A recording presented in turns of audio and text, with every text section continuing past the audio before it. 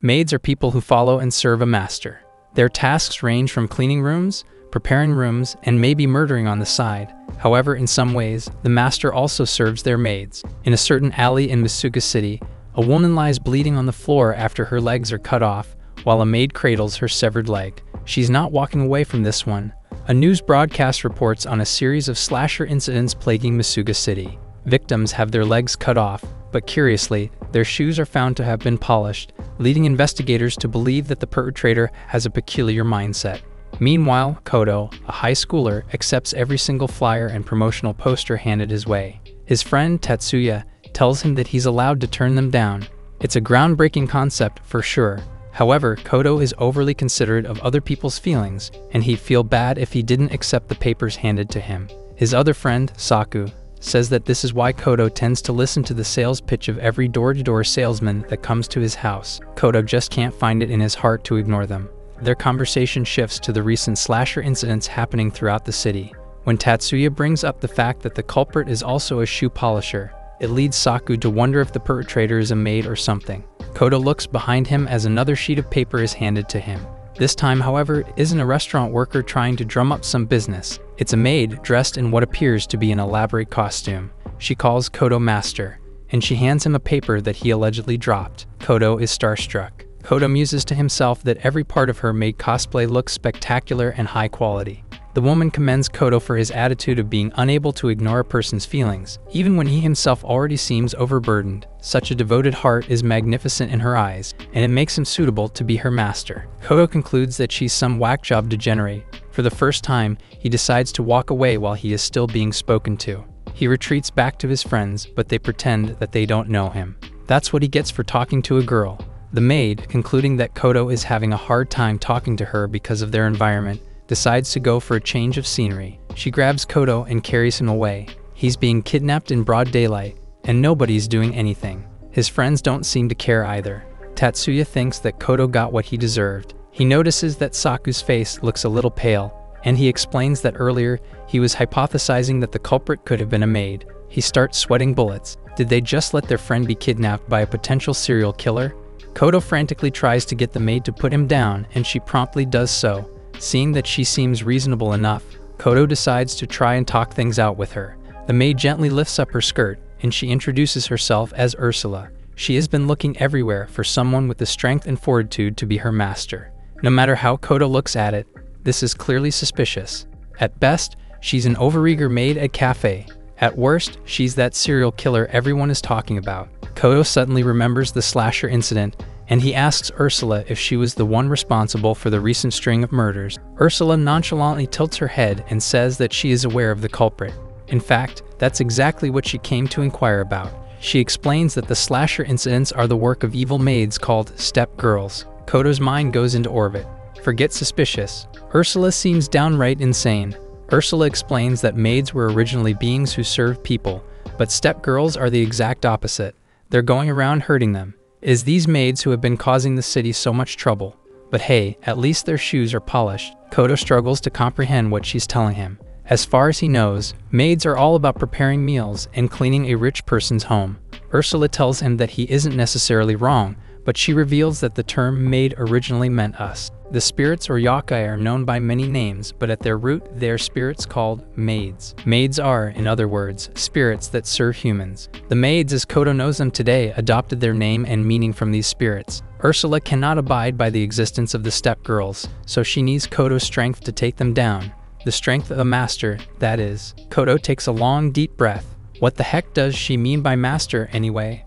Ursula explains that he possesses the strength necessary to be a master, but upon closer inspection, she wonders if she captured a coward by mistake. Not only does Kodo not understand what's going on, but he can feel like he's being insulted too. Regardless, he doesn't think he's quite cut out to be a master either, since he can't picture himself giving orders to people. Ursula tells him that this isn't the strength she's looking for. The true strength of a master indicates a heart of devotion. She asks him what he thinks people called lords are, they are adored and looked up to by so many people. The kind of master she's looking for is like these lords, whom so many people look up to. A master who puts others first without taking into account their own situation. A self sacrificial heart of a master. She observed Kodo accepting all those flyers from people he passed by. and so she witnessed a glimpse of that self sacrificial heart. Kodo is flattered, but he has to ask her why she needs to get rid of the step girls to begin with. Before she can reply, her pocket watch chimes and she looks to the side. Kodo wonders what's wrong, and he spots his friends, Tatsuya and Saku. Those bloody traitors abandoned him and are now looking for him. Kodo pops out of the bushes to talk to them, but as soon as he does, they fall, their legs suddenly severed from their bodies. Behind them is a horde of step girls, ready to chop off some more. Tatsuya hadn't even processed what had just happened. He can't seem to find his footing. The step girls grab their legs and start intently inspecting them. Ursula says that these are the evil maids, the step girls. Ordinarily, maids should be working and serving the people, but they have since become corrupt. Kodo tries to warn her that she is being attacked, but she needs no such warning.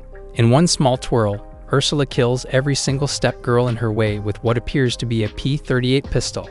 Ursula states that she is a maid, but not the kind of maid that serves or cleans. She is a Valkyrie maid, specifically trained to kill step girls. One of the step girls lands on Kodo, and he freaks out. Even though they are spirits, they still have flesh and blood. He hurriedly checks up on Tatsuya and Saku, but neither are conscious and neither can stand. Suddenly, the step girls that Ursula thought she had killed start coming back to life. She had expected as much, but it is still an ugly sight. Ursula remarks that if they have the gall to attack her, then the least they can do is to fix up their attire before doing so. Their ribbons are loose and the hems of their skirts are worn. Blood splatters on Ursula's face and dress, but it matters little. Valkyrie maids are built to take on any dirt and grime in their line of work. Meanwhile, Kodo applies emergency first aid to Tatsuya and Saku. He does his best to stop the bleeding, but there's only so much he can do. Tatsuya explains that he and Saku thought Kodo might have been kidnapped by the serial killer maid, but it seems like they were wary of the wrong maid. Kodo heads back to retrieve Tatsuya and Saku's legs, and that's something that Tatsuya really didn't want to hear. Kodo swears to bring them back. Tatsuya and Saku think that Kodo is the type to die young. Kodo returns to the battlegrounds, and he spots Ursula in the middle of the road. However, he senses too late that a step girl has snuck up behind him. In the blink of an eye, Ursula appears and shoots the step girl point blank. Kodo is horrified that the step girl was aiming for his neck when earlier she was just aiming for legs. Ursula says that this was just a means to make sure he wouldn't move while it did the latter. Kodo asks if he shouldn't have come back, but Ursula needs his strength. No matter how many times she shoots the step girls, they keep coming back from the dead. Thus, she needs Kodo's help. This is way above Kodo's pay grade, and all he really wanted to come back for were the legs of his friends. I'm not even sure if they can put that back together. However, since he came back, he wants to help. He asks Ursula how they can defeat them, and she explains that the only way to do so is for him to accept their servitude. If a master who is willing to accept their servitude appears, then the step girls will be satisfied, which means that all Kodo needs to do is let these serial killer step girls shine his shoes. Kodo asks if he'd die, and Ursula tells him to try and find a way not to. Kodo replies with four question marks. This is certainly not what Kodo was expecting. He thought that he'd use his master power and defeat them somehow. Ursula reminds him that the master strength she described was really just a matter of the heart. All he has to do is accept the step girl's servitude without dying, and it will really show her that he has the strength of a master. It's so simple, a child could do it. Ursula blasts another step girl in the face to buy them some time. If Kodo isn't willing to do it, then she'll just have to find someone else suitable to be her master. However, if that's the case, then Kodo will be unable to retrieve the legs of his friends. She'd even be willing to help support him to the best of her ability if he agreed to help her. That's her job after all. Kodo grits his teeth. This whole situation is ridiculous and unbelievable, but it's reality. His friend's legs are counting on him. Kodo runs straight into enemy lines. It's simple. He has to let them polish his shoes without dying. An attack barely misses him, and he thinks that it is hopeless after all. He's really going to die here. Ursula tells him to focus on getting his shoes shined and to think about death later. A step girl pins Kodo against a wall and prevents him from escaping. Ursula rescues him by firing her gun, but now they're back to square one. Kodo falls and tumbles a short distance, right into the waiting arms of some step girls. Ursula kicks some fallen metal poles on the ground, forming a small defensive barrier between Kodo and the step girls. Kodo hastily removes one of his shoes and tosses it to the step girls, telling them that they can have them. The step girls quickly crowd over Kodo's shoe, taking turns gingerly inspecting and examining it before polishing it. Ursula harbors her own doubts that Kodo can exterminate these girls. Kodo's friends went through a horrific and traumatic experience, and she wouldn't blame Kodo if he resented the step girls for that. Even if he could, the step girls are repulsive monsters by nature, so it wouldn't be surprising for Kodo to want to see them go away. Even so, Ursula would be disappointed if that were the case. She fears that Kodo is yet another lost cause, and she'll have to find another master. To her surprise, Kodo gets up, and he approaches the step girls without ill intent or resentment. Kodo recognizes that the step girls wanted to save people, and they were just desperate for a master. He recognizes that the way they went about trying to serve people wasn't nice, because under no circumstances is cutting people's legs off a good thing, but he can see that their hearts were in the right place, and it'd be wrong of him not to acknowledge that. One of the maids suddenly swings her metal pole at Kodo's right leg, but he catches it before it can sever it. He calmly tells them that they don't have to polish this shoe. He extends his arm to ask for his other shoe back, and they obediently hand it over. His loafers look as good as new, Kodo looks at his shoe from all angles and is impressed by their work. Spectacular, he tells them. The step girls, hearing those words, are reminded of all the times they tried to polish other shoes, only to be met with screams of terror and fear.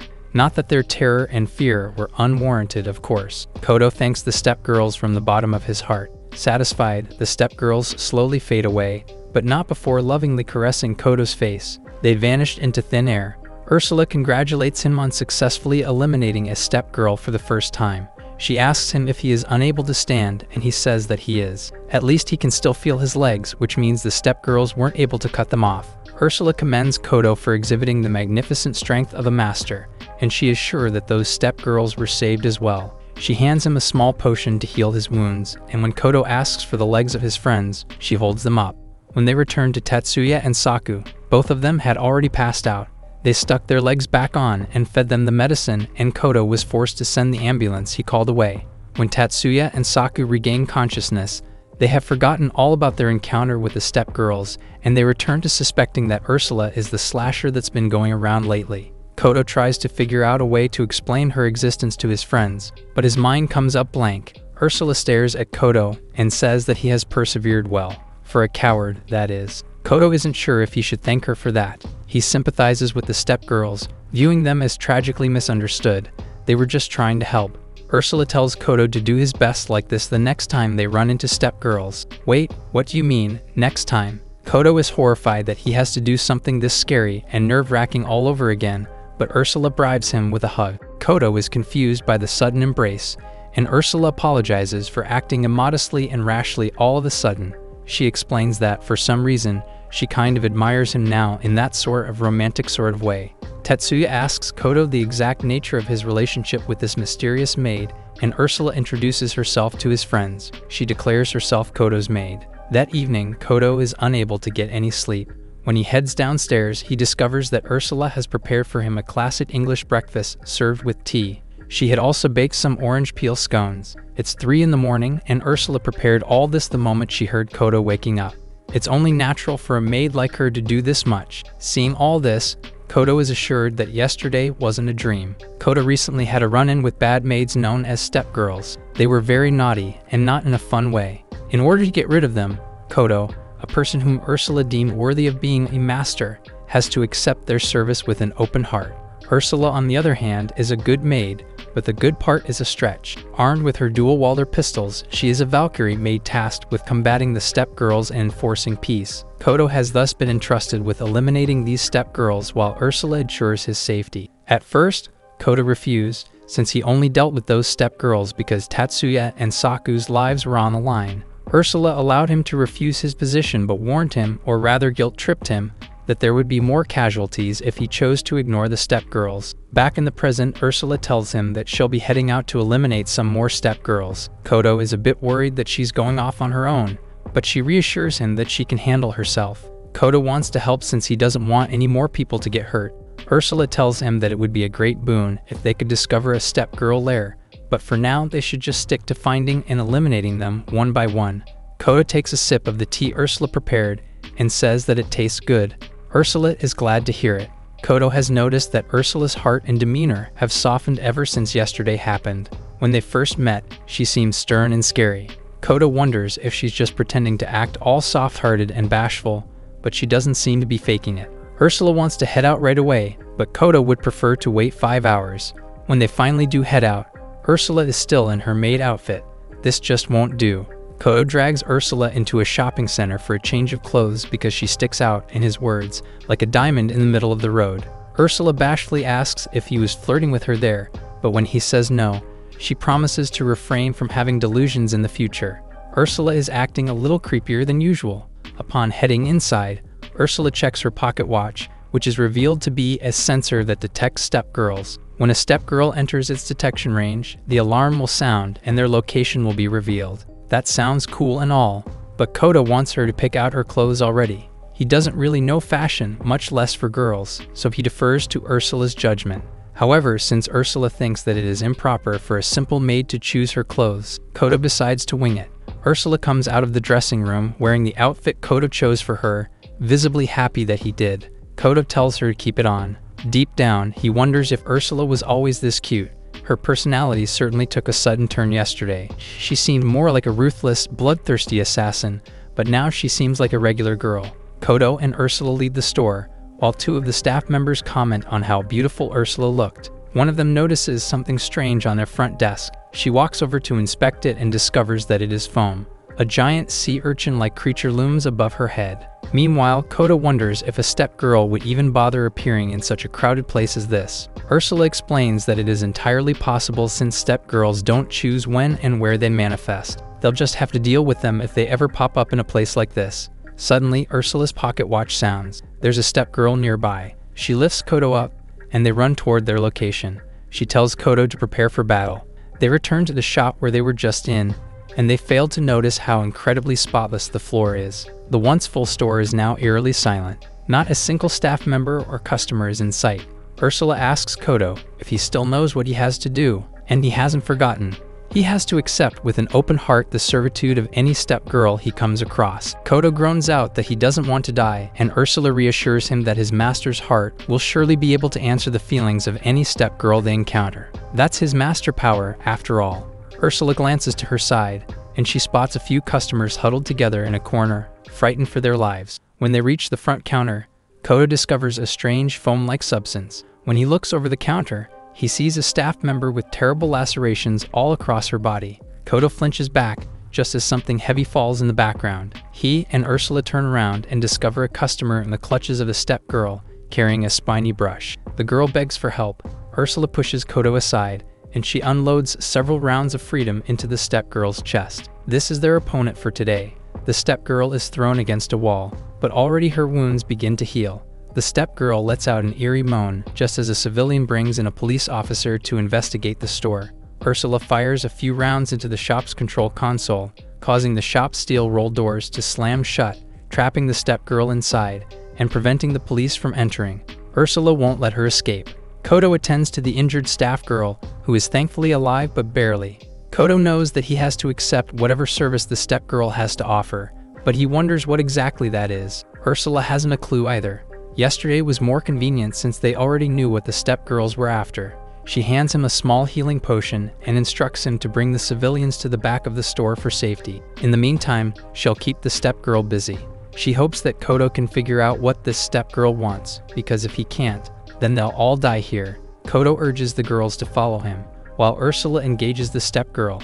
She hurls a clothes rack at it, telling it to pick out any dress she likes. Kodo lays the staff member on some soft cushions, and he inspects the dozens of cuts across her body. This was the result of the step girl's attack, but he knows that it didn't mean to injure the girl. Meanwhile, the step girl spits out copious amounts of foam, nearly flooding the entire floor. Ursula, not wanting to ruin the clothes that Kodo chose for her, leaps up to ensure that they stay dry. She manages to land on her feet for now. Kodo tries to figure out more details from the civilians, but all they know is that the step girl suddenly appeared and used that whirly, spiky thing to attack them. They have no other information to offer. The door suddenly bursts open and foam begins to flow in. Kodo tells them not to panic. They're racing against the clock. Kodo racks his brain to figure out what service the step girl is trying to provide because they don't indiscriminately attack people. At least, that's what he's been told. One of the terrified girls starts panicking even harder, telling Kodo that she doesn't want to die. Kodo notices something about her and her friends. Only their clothes appear to be torn. If they were attacked by the spiny wheel that the step girl was carrying, then this should be covered in cuts like the staff member. Kodo dips his hand into the foam and he figures it out. He runs back into the store to tell Ursula that he's figured it out, just as he sees her clothes being ripped apart. My disappointment is immeasurable and my day is ruined. Ursula covers herself up and Kodo apologizes. Ursula reassures him that only her clothes were torn during the attack, but if Kodo's hunch is right, then the step girl's next attack will be different. Ursula avoids another attack from the step girl, but the attack ends up damaging the steel doors, keeping the police and bystanders out. Ursula covers herself up, and Kodo asks them not to look. They're fighting for their lives over here. Kodo has a plan to take down the step girl, but Ursula needs to pin her down for a second. However, he is mindful of the current state that Ursula is in. If only those bystanders would go away. Ursula agrees to his plan, but she asks Kodo to look away when she pins the step girl down. Kodo agrees. He may have misjudged her, he thought that Ursula was scary, but she has emotions just like any other girl. Ursula mercilessly unloads her entire clip into the step girl without an ounce of remorse. Ursula asks the civilians to clear away because they're getting in the way of her work. She then leaps toward the step girl and tackles her to the ground while avoiding the dangerous spins of the spike wheel. Ursula catches Kodo staring at her, and she becomes shy again. She has no problem when other people see her as an efficient killing machine, but she can't bear it when Kodo is looking at her. Ursula has two sides the cute girl who acts bashful and says hi, and the scary girl who acts like a cold blooded murderer and says bruh. Kodo quickly runs up the step girl just as she is recovering, and he tackles her to the ground again. He asks Ursula to throw him a nearby wiping cloth, and he puts it in the step girl's hand, which he places against his face. He tells her that she doesn't need to use a scour or to scrub hard, she just has to gently wipe. Based on everything he's observed so far, Kodo deduces that this step girl is trying to give people a bath, removing their clothes, making lather, and using a scour. The step girl was only undressing her apparent victims so that their clothes wouldn't be wet, but the staff member was torn to shreds because the step girl had already scrubbed her. Just like before, the step girl's intentions were pure, but the method was all wrong. Kodo thanks her for trying so hard. With her servitude fulfilled, the step girl peacefully passes away, and she disappears into thin air. Kodo is exhausted. He doesn't get paid enough to deal with this. The moment the step girl disappears, nearby onlookers lose their memories of what just happened. Ursula carries Kodo home and makes sure that he isn't injured. Kodo has just one question for her. He knows that she's become quite fond of him, but he can't wrap his head around why she is. Ursula says that Kodo is straightforward and headstrong, which she partly attributes to his master power. She asks him why he wants to know so badly, and he replies that he was just curious. Kodo hates seeing people sad. He wishes that no one was sad and that everyone would just smile. The next morning, Ursula wakes him up so they can go out and eliminate some more step girls. Damn, they're seriously going to do this every day, huh? Step girls are a sad, misunderstood existence whose only purpose in life is to serve, but they go about it the wrong way. It has been three days since Kodo was thrust into a position to eliminate them. Kodo tells Ursula that he's seeing a dentist today, Ursula doesn't know what that is, and he explains that it's sort of like a doctor, but for your teeth. He admits that he's terrified of doctors. He hates the sound of the drill, and it hurts when the anesthesia is administered. But since it'd hurt even more without the anesthesia, Kodo has no choice but to suck it up. Ursula flat out calls Kodo a coward. Kodo asks her if she's scared of anything, and she gives it some thought. Ursula ends up accompanying Kodo to the dentist, since she's scared of one thing Kodo being in danger. If something were to happen to him, she'd become agitated. Thus, she couldn't accept him going to the dentist, knowing that he's so scared to go. It's embarrassing enough to be accompanied by a girl to the dentist, but on top of that, that girl is a maid. The sound of the drill causes Kodo to flinch. Ursula acknowledges that it was quite a high pitched, shrill noise. Kodo has flashbacks of his previous encounters with that dreaded drill. At eight years old, he fought back tears while the dentist stuck the drill into his mouth. He reacted the exact same way when he was 9, when he was 10, and so on. Just remembering all this is traumatic for him. Ursula asks Kodo what he'd do if he were trapped in a room with drills on all sides. He'd be scared out of his mind, obviously. However, if there were a person trapped in that room who needed help, then Kodo would run in without a second thought and try to help them. That's what Ursula finds so admirable about him. One of the dentist's aides calls his name and he stands up. Ursula does too, but he tells her to just wait in the reception area. As Kodo is led into another room, he muses that Ursula is overestimating his integrity and character. While he definitely want to help someone in an unfortunate situation, he feels that he'd be too scared to save someone from a room filled with drills. However, he'd feel that he could if Ursula was there. Kodo was only able to eliminate those step girls from before because of Ursula. If she weren't there, he'd be dead a long time ago. Kodo sits on the reclining chair while the dentist starts by examining the inside of his mouth. Kodo closes his eyes and braces himself for the pick and drill. When he hears the drill start to whir without him receiving anesthesia, he opens his eyes to discover the dentist being attacked by a step girl with a drill-like appendage. Immediately, Kodo hurls a chair at the step girl and urges the dentist to escape. Just as Ursula had warned him the day before, a step girl really can appear just about anywhere you least expect them to. To make matters worse, this step girl has a drill, Kodo's one weakness. Ursula pops in behind him and says that it is time to work. Ursula remarks that it is clear what this step girl wants to do. She wants to conduct some dental treatment. Kodo asks if that's even something a maid can do, and Ursula replies that step girls can do anything. Just like before, the step girl will disappear once her service has been accepted. Kodo is afraid that accepting such a service might kill him, and Ursula says that it probably would, so he better find a way to not die. As usual, Ursula keeps the step girl busy while Kodo evacuates everyone else. The step girl thrusts her drill straight through the dentist's chair, and Ursula leaps away to avoid them. The step girl rips the chair apart, but Ursula unloads her clip into the step girl's head. The step girl's head slowly grows back, but it doesn't matter as long as Ursula keeps shooting her as it revives. Kodo seems like he'd need more time to evacuate the others as well. When she sees one of the customers push Kodo aside, she takes a deep breath to rein in her anger, but she is fatally distracted. One of the dentists volunteers to call the police, but Kodo tells him that the police won't be much help in this situation. Kodo turns around, only to see the step girl looking over Ursula's slumped body. Kodo sees that there's blood on the drawer. It's Ursula's blood. Kodo is frozen with fear. When the step girl begins revving up her drills again, Kodo knows that he has to act. He starts making loud noises to attract the step girl to him, but all that does is paint a target on his back. Kodo manages to slip away in time, and he is able to retrieve the injured Ursula. He kicks down one of the drawers to aid in his escape, and he runs away from the step girl as fast as he can. He makes it to the exit, but just as he opens the door, the step girl catches up to him. The best Kodo can do is throw Ursula out the door. He's been stabbed, but at least Ursula is alright. But still, he's been stabbed. That can't be good for anyone. The step girl removes her drill, and Kodo slumps to the floor. His breath becomes more ragged. He's experiencing the one thing he's scared of the most dying. He doesn't want to die. Not here. Dying might make the pain stop but he doesn't want to die. He doesn't even know if Luffy has found One Piece yet. Not like this. As his vision fades to black, he sees Ursula slowly getting up after recovering from her injuries. When she looks back and sees Kodo slowly bleeding out on the floor, she is devastated. Kodo doesn't like that look on her face. He hates seeing people sad. After Kodo's visit to the dentist when he was 12, the dentist told him that he was brave. His father, on the other hand, thought otherwise. He blames Kodo's mother for leaving them because of his misbehavior. There was a time when all Kodo knew was sadness, so he strove to make it so that nobody else had to feel that way. He wanted people to smile. Ursula would be sad if I died is what prompted Kodo to get up. It's not that he doesn't want to die, but rather he can't die. Kodo stumbles to his feet and makes his way to the door. He's still alive, and he's still breathing.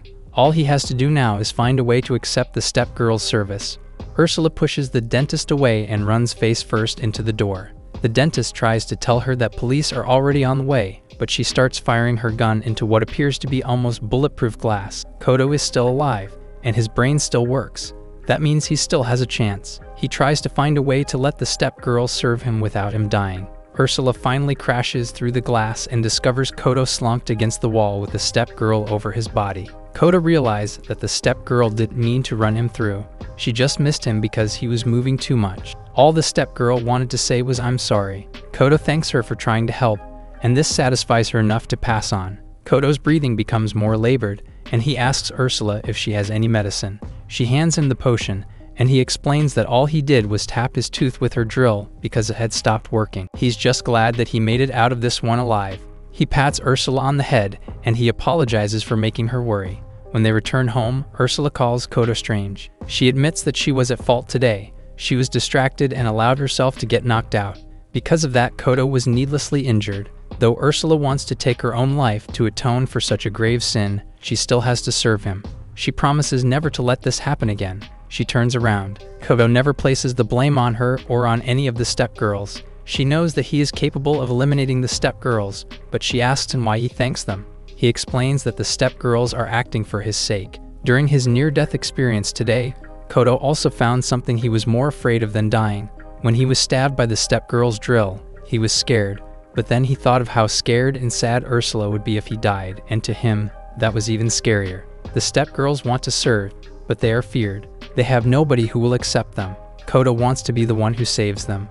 Ursula playfully calls Kodo a coward. He isn't scared of death or of drills the most, but of someone being sad. He truly has a master's heart, full of love, devotion, and self sacrifice. Ursula has longed to meet someone with a heart of gold like his. Ursula promises to do her best and not be sad to the best of her ability. Maids are dedicated to their masters, but a master must also be dedicated to their maids, such as the immortal bond between master and maid. Meanwhile, a man frantically grips a step girl, telling her that all she needs to do is shut up and do as he says, Ursula included. He begs the step girls not to leave him because he is their master. Who is this mysterious generic NPC?